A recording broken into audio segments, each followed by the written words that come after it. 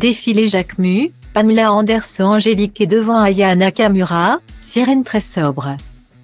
Du beau monde s'est réuni au Bourget ce lundi 12 décembre.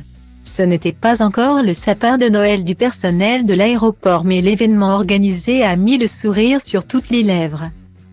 Simon Porte Jacquemus présentait sa prochaine collection lors du défilé baptisé le Raffia, les pièces printemps-été 2023. Les admirateurs et clients du créateur étant nombreux, les stars étaient nombreuses à venir applaudir les prochaines créations que certains ont eu l'honneur de recevoir avant tout le monde. Ce fut le cas de Pamela Anderson, enfin ce que l'on arrivait à en voir. L'héroïne d'Alerte à Malibu avait glissé sa frêle silhouette dans une robe blanche fendue aux finitions raffia, matière star de la nouvelle collection, au niveau de la taille tenue terminée par des escarpins blancs, un long gant sur le bras droit et un immense chapeau lui couvrant intégralement le visage. Difficile de reconnaître l'ancienne conquête d'Adil Rami si celle-ci ne déblayait les longues franges qui lui mangeaient le visage. Les regards se sont vite portés sur les arrivées suivantes dont celle d'Ayana Kamura. En total contraste avec le look de Pamela Anderson.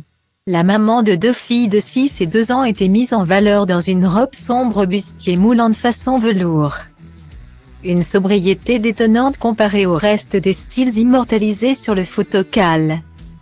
Les esprits étaient bien plus chauds que les températures. Ce sont des petites tenues très légères qu'une grande partie des spectateurs VIP arboraient pour assister au défilé. Vincent Cassel a protégé comme il le pouvait sa douce Tina, en robe déstructurée qui laissait son dos et son ventre à l'air libre. Adèle Exarchopoulos, tout de blanc vêtue comme Pamela Anderson, aurait-elle aussi accepté une petite laine pour couvrir le tout Valentina, sœur de Chiara Ferrani, avait certes choisi un pantalon mais en guise de haut. C'est dans un rikiki crop top qu'elle s'est glissée. Pas certain que cela ait suffi. Point. Avoir toutes ces peaux dénudées en région parisienne pour cette journée frisquet.